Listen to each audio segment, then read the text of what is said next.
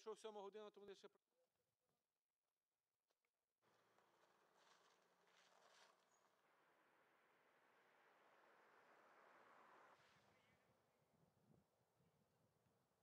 На порядок денний нашої сьогоднішньої сесії ми виносимо слідуючі питання. Перше. Обговорення будівництва норкової ферми за межами населеного пункту села Конюшків. Єдине, що я прошу, як священник, мудрості, прошу виваженості, і щоб зараз сесія не перетворилась на якийсь гармидер, поважаємо одні одне, висловлюємо свою думку, але не переводьмо це в крик і гамір. Подивімось, який ми час зараз живемо, де ми повинні об'єднуватись і думати не про власні інтереси, а думати про інтереси майбутніх поколінь. Думали не за себе, думали за те, щоб розвивалась і громада, і думали про наших дітей і про майбутнє. Божого вам благословення, мудрості, виваженості, і нехай між нами та мудрість запанує. Об'єм сплачених податків складає близько 74 мільйонів гривень. Це різного роду податки, які включають єдиний соціальний внесок, військовий збір, податок з доходів фізичних осіб, орендна плата за землю, податок на прибуток, податок на додану вартість. Зокрема, наприклад, те, що стосується поступлення в бюджет місцевого рівня, це є податки в об'ємі 1 700 тисяч гривень На рік на рік. ви в відео показували, що обробка шкірок відбувається в Польщі, Німеччині і Італії. Чому не розташовані заводи в європейських країнах, а розташовують в Україні?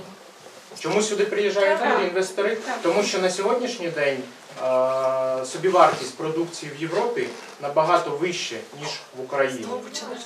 Тому сюди ру- рушили інвестори, тому що тут дешевше.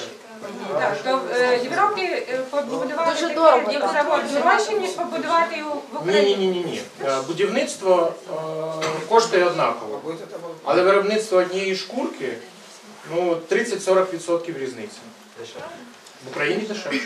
Тут рапсила дешевше. І чому нам не показали, як прибирається гній в Данії? Чому? Бо наскільки я чув, там прибирається вакуум щодня, а то величезні гроші. От вам, панове, і то, чому норка в нас виходить дешевше. На екології зекономили раз, людям не доплатили два. Прошу, ви розкажіть, як буде в нас конкретно, розумієте?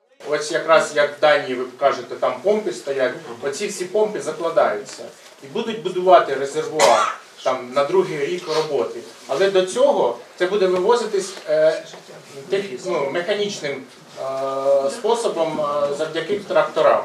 Ось ви бачили, я відповідаю одразу і на ваше запитання. Ми спочатку збираємо навоз, перевозимо на причеп з трактором, потім трактор вивозить це на гноєсховище. На гноєсховище проходить процес компостування. Цей процес згідно і законодавства, і всіх регулювань від 3 до 10 місяців, а потім це все йде і продається аграріям на поле. І використовується як органічне добриво. На території України є приблизно 35-36, здається, норкових ферм. Е, негативні такі звіти оцінки згадуються буквально десь про дві ферми. Розумієте? Ну, де е, власники цих там з певних причин, чи дотримуються, чи не дотримуються цих законодавчих. Виходить, що не дотримуються. От. Але розумієте, є них тільки 30, 35 34, 33 інших нормальних норкові ферми, за які, наприклад, ніхто нічого не говорить негативно. Розумієте? Тому, якщо е, представник е, даної галузі є один, і він десь з певних причин порушує законодавчі норми з приводу е, охорони навколишнього середовища, ну це ж не є підстава забороняти всю галузь. Це є підстава для того, щоб безпосередньо кожного підприємство перевірити, встановити порушення і змусити його їх усунути. Хто? Ви вже, напевно, перестаньте дурити людей. Просто дурити. І невже для вас ті кошти, які вам пообіцяв той інвестор датський, важливіші за здоров'я людей, ваших земляків, українців? Невже ви хочете туди запхати оцю ферму, оцей страж, розумієте? Це екологічне підприємство. Ми не хочемо. Всі фермери, які працюють на норкових фермах, в тому випадку і в Данії, Вони всі живуть на фермі і живуть роками, поколіннями. І нічого з собі і вода чиста. Технологія зовсім Ви інша сказали, що ви екологія. лікар. І ми чітко і відкрито задекларували, що будемо цих вимог дотримуватися. Ми це те саме декларуємо перед вами. Також сьогодні є присутній генеральний директор датської компанії, який ви кажете, Приїхав задекларувати свою- і зараз присутній в цій залі. Ніхто нікого не купляв, нічого не давав. Якщо 80-90% проти, то чому, яка може бути і далі мова? Тому далі можете пройти будівництво. Проти екологічної ферми чи проти? Проти тієї ферми, щоб вона взагалі була тут в нас на території. Директор Бейзик Андрій Євгенович. То є правда? Ви сказали, що керівництво не ховається. Де він є зараз? Будь ласка. То ви є. Дуже приємно, що ви так дійсно до вас приїхали. Коли вже так громада на ноги піднялася, що аж гримить. Ми щойно вас побачили. Дуже приємно, що ви. є. Все, питання завершено. Дякую. Не вважаю, не вважаю, що я ховаюся від вас. Я просто маю іншу відповідальність. Коли виникла необхідність і ви озвучили, що хотіли ви бачити, Нема питань. директор компанії приїхав. Інвестиції втечуть ті країни, в яких можна заробити. Будемо говорити відкрито. Україна сьогодні має суттєву перевагу перед європейськими країнами. Це кваліфікована і відносно дешева робоча сила. Друге, це е, велика кормова база. І звичайно, що бізнес він хоче використовувати ці речі. Це, це природно. Це так, як ви їдете в Польщу, щоб там більше заробити, чи хочете поїхати в Данію, як були пропозиції. Так само і інвестор він дивиться на ринки, в яких можна заробити. Причому це заробіток він є не односторонній. Він, коли приходить, то він створює робочі місця. І оці гроші, які люди отримують, вони не обумовлюються зарплатою в Данії чи в Сполучених Штатах Америки, чи навіть в Польщі. Вони обумовлюються рівень зарплат, який є на цьому ринку. Якщо треба платити 12 тисяч, то вони будуть платити 12. Якщо треба платити тисячу євро, вони змушені будуть платити тисячу євро. І так відбувається процес інвестування. Спочатку люди приходять, вкладають гроші, і таким чином збагачується громада, піднімається рівень життя, піднімається добробут. Люди не йдуть працювати за менші гроші, ніж. І таким чином вибудовується добробут країни. Так вибудовувався добробут в Польщі, так вибудовувався добробут в Німеччині, так він вибудовувався і в Данії. І от ті країни, які мають велику кількість підприємств, вони мають роботу, вони можуть заробляти і продають свою продукцію на зовнішній ринку, то такі країни є економічно сильні і ефективні. І люди в них є найбагатші. До нашої е, сільської ради входить чотири села. По кожному селі депутати заходили в кожну хату, збирали підписи і навіть збирали мобільні телефони, щоб ви потім не сказали, що ми сіли і зробили списки, де то можете проти кожної людини мобільний паспорт подзвонити і перепитати, чи то ми так не, того.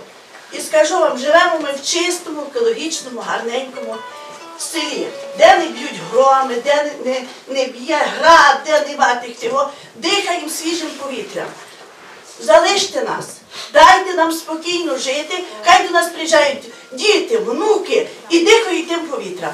А ми жили без тих грошей до того часу, і нам хватало. Не були, і не були бідні, хватало. Робимо забави такі, що аж на той значить, хватає на все.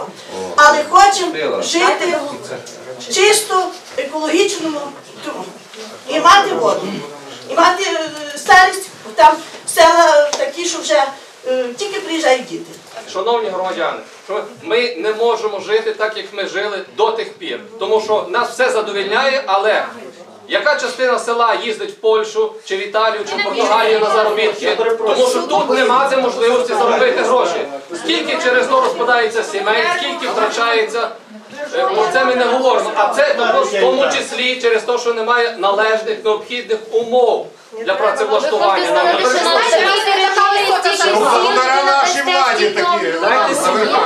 Ми можемо запропонувати на даній фермі 70-80 робочих місць. На іншій фермі ми можемо запропонувати також 70-80 робочих місць. Ви зараз ставите це інвестиційний завод, і тут люди всі стануть бідніші, тому що та земля нікому не буде потрібна. І ринок землі тут він помре. Куди подує вітер, то там вже ніхто не захоче ні жити, ні будуватися. 60 людей будуть получали зарплату. А всі остальні У нас немає достатньо своїх е, інвесторів, які би могли вкладати кошти в розбудову. У нас є землі сільськогосподарського призначення, які не використовуються. Скажіть, будь ласка, який ефект від тої землі, яка вона буде стояти і буде заростати? Я вважаю, що десь е, що вкладення коштів в землю, зведення об'єктів чи ведення сільськогосподарського виробництва, воно завжди дасть ефект на територію, тому що це будуть створені робочі місця, це будуть сплачені податки до громади. Не буде споруджений той об'єкт у Львівській області. Повірте мені, що е, такі датські інвестиції знайдуть собі місце в Івано-Франківській області чи в Волинській області, але все рівно вони це місце знайдуть, і вони це, якщо вони за ціль собі поставили, і вони ці е, приміщення чи там цей е, звіроферми збудують. Але ну від.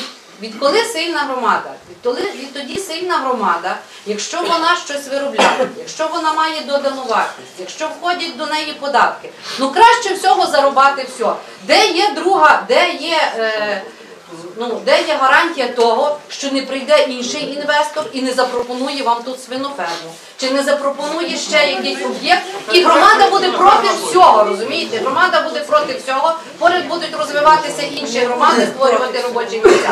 Чи це є добре, коли люди ваші з села виїжджають працювати в Польщу, коли кидають вдома дітей, коли кидають вдома сім'ї? Це не така зарплата.